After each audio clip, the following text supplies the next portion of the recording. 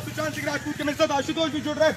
आशुतोष, बड़ा डेवलपमेंट क्या है? बड़ा डेवलपमेंट आशुतोष, ये है कि 302 का केस दर्ज होगा मतलब मर्डर का केस दर्ज होगा। आशुतोष, अगर मर्डर का केस दर्ज होगा तो रिया गैंग जो है, उसके खिलाफ भी मर्डर को एवेट करने का केस दर्ज होगा। मतलब जो suicide suicide suicide suicide suicide suicide कर रहे थे उनको जाना होगा।